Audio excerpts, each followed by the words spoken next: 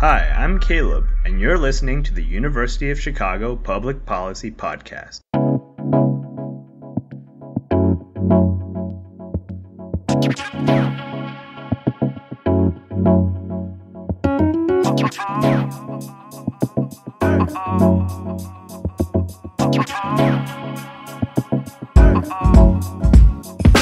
Welcome to the University of Chicago Public Policy Podcasts. My name is Siddhant Wadera, and I am the production manager for The Main Page, our podcast on policy, politics, and current affairs. Today we have the second installment of a mini-series on the Supreme Court, democracy, and election law. You'll hear Andrew Weis interview Slate journalist Mark Joseph Stern about the ideological underpinnings of the Supreme Court and the federal judiciary. Three quick notes before we begin. First, this episode was recorded remotely due to the ongoing COVID 19 pandemic. Second, we re recorded some of Andrew's questions for clarity. Finally, this interview was conducted before Justice Ruth Bader Ginsburg passed away, so we don't fully touch upon the future of the court. Without further ado, here's Slate journalist Mark Joseph Stern.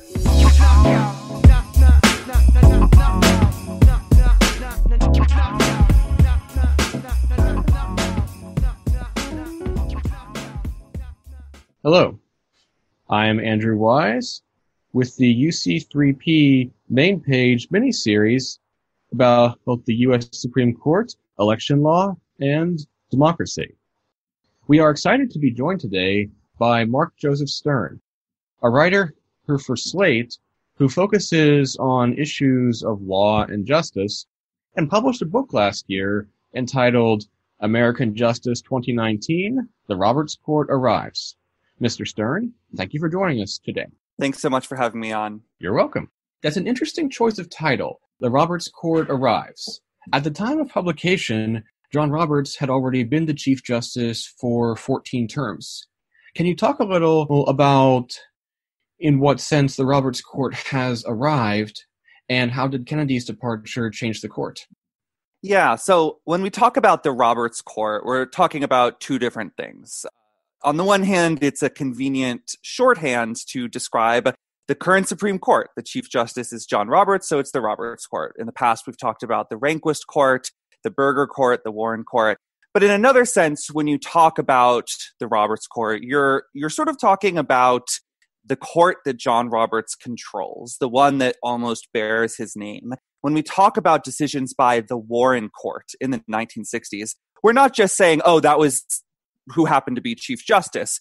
We're talking about how Chief Justice Warren imbued the court with his own view of the law and jurisprudence, right? Chief Justice Roberts didn't really get a chance to make the Supreme Court his, to imbue the court with his own personal uh, and, and, jurisprudential views until Justice Anthony Kennedy stepped down in 2018. Jo- when John Roberts joined the court, Justice Kennedy was the swing vote, and he remained the swing vote through his entire tenure. If there was a closely divided five to four decision, you could bet that Justice Kennedy was going to be in the majority. In fact, he would cast the fifth vote. Uh, and so, even though John Roberts definitely wrote some very important opinions when Kennedy was serving alongside him, very consequential decisions, and certainly, uh, you know, explained his own views about the law and sometimes put them into words and action, it was still the Kennedy court every single term, a few major cases came down to Anthony Kennedy. After Kennedy retired, that all changed. John Roberts became the swing justice, which means he is the most moderate of the five conservatives and the one most willing to occasionally join the four liberal justices. So when I said the Roberts court arrives, what I meant was this is no longer a court bearing Roberts' name but controlled by Anthony Kennedy. This is at long last a court that bears Roberts' name and is actually under the control of Chief Justice John Roberts. And that remains, of course, the situation today. Yes, indeed.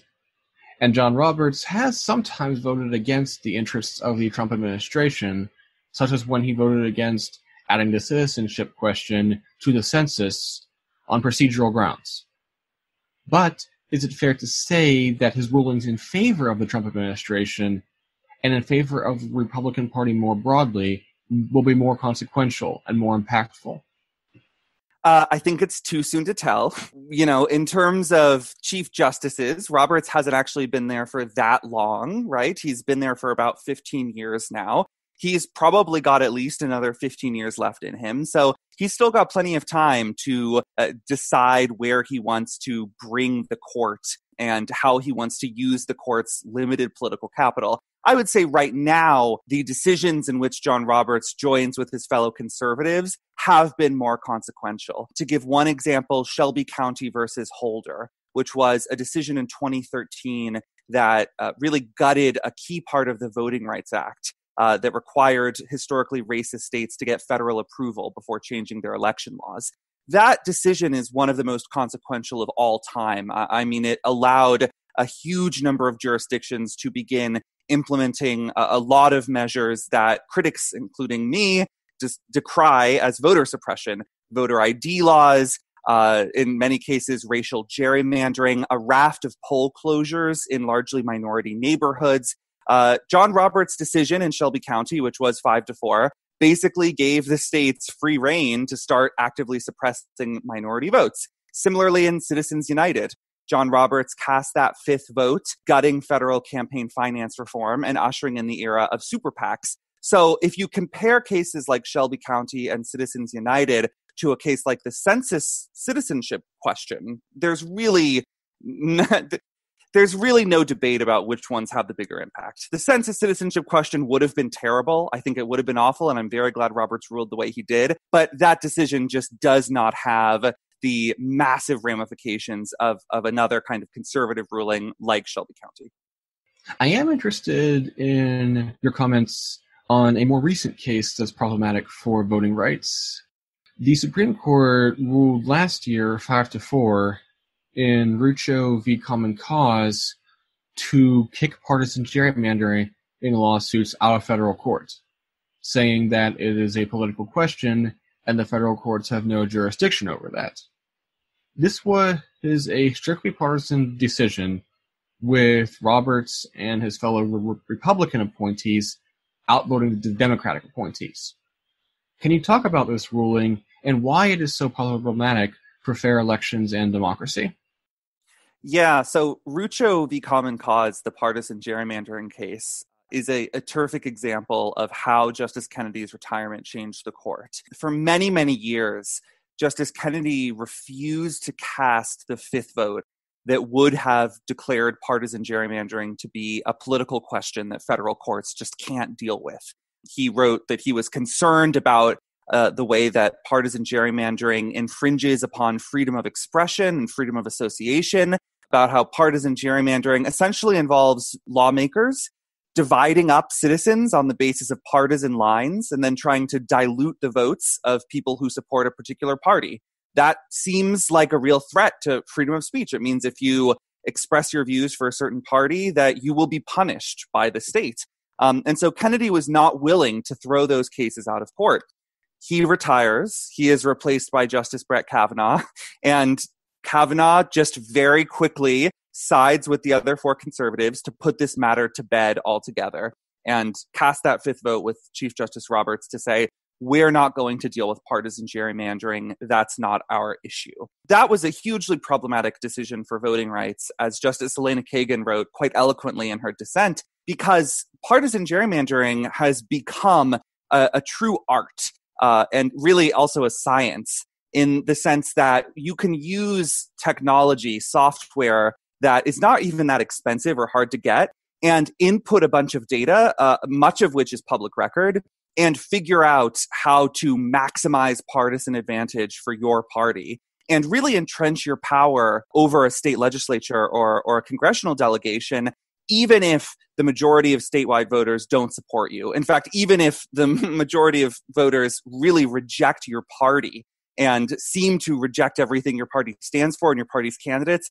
if you draw that gerrymander correctly, your party can stay in power. And that just seems to go totally against what free and fair elections are supposed to be about. Justice Kagan wrote that election day is sacred in democracy. It's when We choose the people who will govern us. But with partisan gerrymandering, uh, we are not choosing our lawmakers. Our lawmakers are choosing their voters. And that just seems to get it totally backwards. So Rucho was a devastating decision. It was followed up by a lot of state level litigation because state courts are still free to limit partisan gerrymandering under state constitutions. Rucho only involved the federal constitution. So not all is lost here. There are still avenues for reform, but there was hope that the Supreme Court would provide a sort of holy grail ruling that just wiped out partisan gerrymandering. And obviously, that did not happen. Indeed. And one instance would be a state like Wisconsin, where the state legislature is so gerrymandered that even though Democrats won the popular vote by, I think, eight points in 2018, they still won barely more than a third of the state legislative seats. And um, that is not really what I would describe as a free and fair election. That sounds much more like an election that was rigged for the ruling party ahead of time. Um, a point that Justice Kagan makes that Chief Justice Roberts really sort of just pushes away in, in his opinion and says, I am more concerned about the politicization of federal courts than I am about protecting voting rights. Yes, that seems about right. Interesting to note there is that North Carolina has seen similar issues, but North Carolina's state courts are majority Democratic, while Wisconsin's are majority Republican, and so cases under state law have come out differently. For instance, the North Carolina state court ordered the U.S. House map redrawn.